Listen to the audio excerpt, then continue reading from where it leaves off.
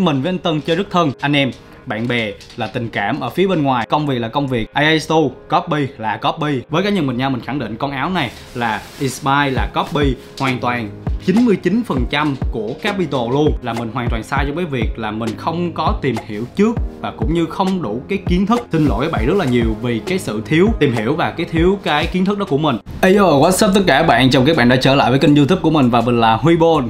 Yeah, rất là lâu rồi đúng không? Mọi người đã đợi một cái video nào đó của mình update ở trên tất cả các nền tảng TikTok hay là YouTube rất là lâu rồi đúng không? Nhưng mà ngày hôm nay chính là video mình muốn nói đến chiếc áo đang gây rất là nhiều những cái vấn đề không chỉ cho phía của AI Store mà là cả cả bản thân mình. Mọi người đặt ra rất nhiều câu hỏi đó là rồi thôi rồi Huibon uh, không có dám nói, không có dám lên tiếng cái video này cũng không dám nói về sản phẩm này các bạn sai rồi. Reborn không có cái việc gì phải ngại gì về những vấn đề đó. Có thể các bạn thấy mình với anh Tân chơi rất thân. Cái việc thân với nhau ấy, nó là cái việc gọi là anh em, bạn bè, là tình cảm ở phía bên ngoài. Còn trong công việc, nó không có cái sự thân thiết hay là tình cảm gì trong đây hết mọi người. Công việc là công việc. AA Stu copy là copy. Không có gì để có thể mà nói là thôi áo anh copy nhưng mà mình là anh em thì áo anh không copy. No cái đó là hoàn toàn sai. Đó không phải đó chưa bao giờ là cái phong cách làm việc của mình và đó cũng chưa bao giờ là cái hướng mình đi từ ngày hồi đó từ ngày mình bắt đầu kênh cho tới bây giờ. Chưa bao giờ đó là hướng mình đi bạn làm sai thì tôi sẽ nói còn nếu như mà tôi sai thì các bạn góp ý tôi sẽ nghe. Đó mình nghĩ đó mới là một cái tinh thần. À, sorry mọi người để mình tắt cái tôi cái thì mình thấy á đó mới đúng là một cái tinh thần mà bản thân mình mong muốn nha. Và mình cũng rất rất là muốn à, được nhận những cái điều đó. Chẳng hạn như là mình sai các bạn có thể chửi các bạn có thể góp ý và mình sẽ luôn luôn đọc và lắng nghe. Và những người anh em của mình nếu có sai thì mình cũng sẵn sàng góp ý và lắng nghe cũng như là chia sẻ lại với họ. Let's go. Chúng ta sẽ bắt đầu với cái sản phẩm đó thôi. Sau khi mình với lại anh kiên uh, cho ra mắt cái video hai anh em collab với nhau làm ra một cái uh, video nói về kiến thức kinh nghiệm và trải nghiệm thì có một con áo của AA Stu đã dính vào một trong những cái gọi là nghi vấn đạo nhái. Thì con áo được nhắc đến ở đây chính là con áo uh, buffer này đây con buffer jacket này. Uh, bây giờ thì để mình uh, để, để để để mình mở con áo này cái mặt bên ngoài ra để cho các bạn xem. Thì uh, bây giờ nói sao ta? Trước tiên mình muốn nói như thế này uh, sau khi mà mình up cái video đó lên ấy thì đã có rất nhiều những comment như thế này như thế này mình sẽ để cho mọi người. Thì bản thân mình lúc đầu cũng khá là sốc uh, vì bản thân mình cũng thừa nhận nha mình không phải là một người yêu thích Capital và mình cũng chưa có bất kỳ một sản phẩm nào của Capital. Thực ra là chưa từng mua bất kỳ sản phẩm nào của Capital. Mình được nhận một cái nón Capital được tặng từ anh Phát. Đó là tất cả những gì mình có về một sản phẩm của Capital. Còn lại thì mình không quan tâm thật sự đấy không quan tâm. Mặc dù các bạn thấy là mình chơi rất là thân với là anh Việt MC ở ngoài Hà Nội và những cái anh em ngoài đó thì rất là thích Capital.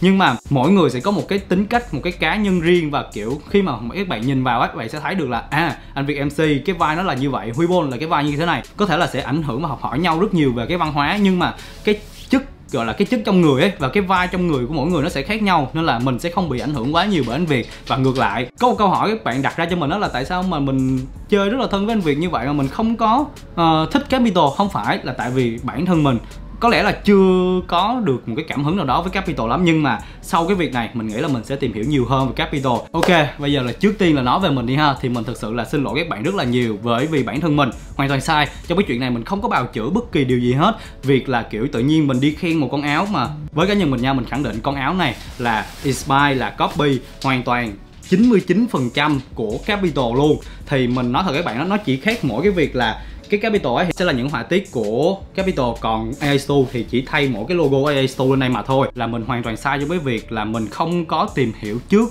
và cũng như không đủ cái kiến thức tìm hiểu của mình trên mạng cũng như là research cũng như là tìm hiểu về sản phẩm trước khi mà review với các bạn. Trong cái sản phẩm này thực sự là mình xin lỗi các bạn rất là nhiều vì cái sự thiếu tìm hiểu và cái thiếu cái kiến thức đó của mình. Mình thực sự là cảm thấy rất là vui á, là tại vì những cái lời góp ý đó là những cái lời góp ý rất rất là chân thành của những cái bạn viewer của mình.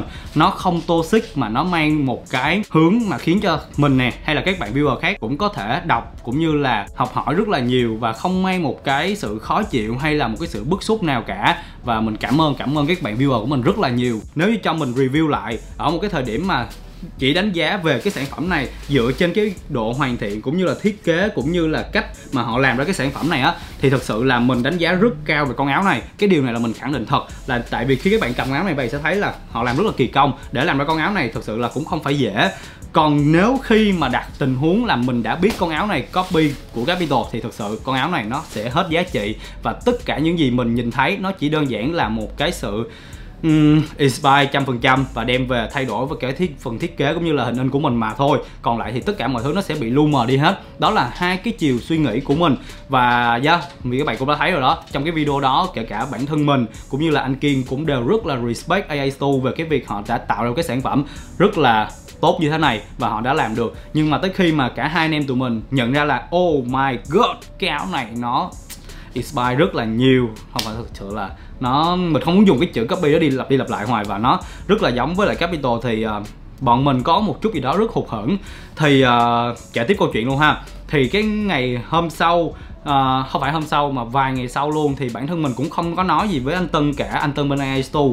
Uh, thì cái ngày cuối cùng của năm thì anh em của mình có đi ăn với nhau. Thì anh Tân có hỏi mình về vấn đề này thì mình cũng trả lời luôn. Thực tế ra là mình đã muốn lên video ở cái thời điểm cuối năm rồi. Nhưng mà bản thân mình thì mình thấy là như thế này, mình muốn các bạn có thêm thời gian để tranh luận về vấn đề này và mình cũng muốn có thời gian thêm để tìm hiểu cũng như là học hỏi hỏi nhiều anh em hơn.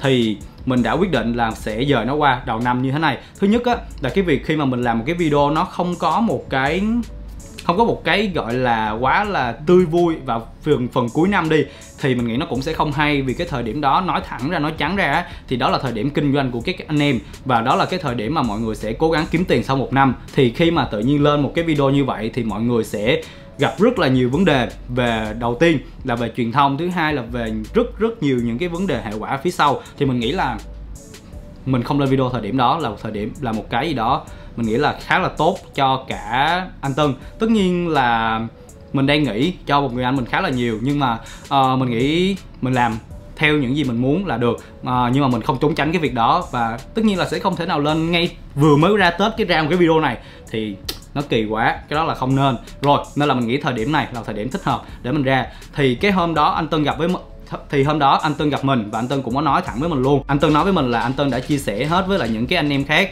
uh, khi mà ghé tới cửa hàng hay là qua hỏi về cái sản phẩm này.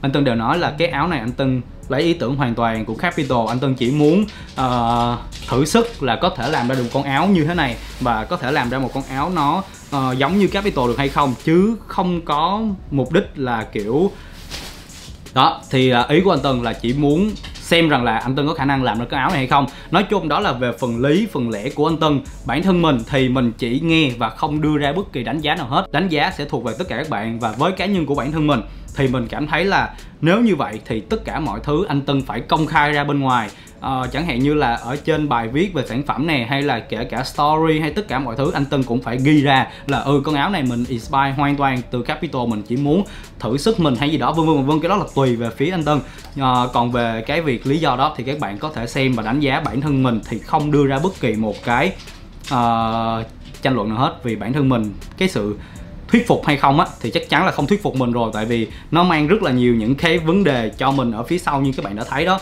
À, nên là yeah, mình sẽ không tranh luận thêm về cái lý do đó của anh Tư nữa. Câu chốt của mình đó chính là mình không ủng hộ cho cái việc này à, một chút nào hết. Nhưng mà đó là bản thân mình đó là đại đa số một số bạn comment ở trên video của mình. Còn lại thì các bạn cảm thấy như thế nào? Hãy có thể comment ở phía bên dưới uh, về bản thân mình. Thì mình nghĩ là cách làm hiện tại của anh Tân hoặc là AI Store về quần áo này yeah, mình không ủng hộ. Một lần nữa cảm ơn các bạn rất là nhiều.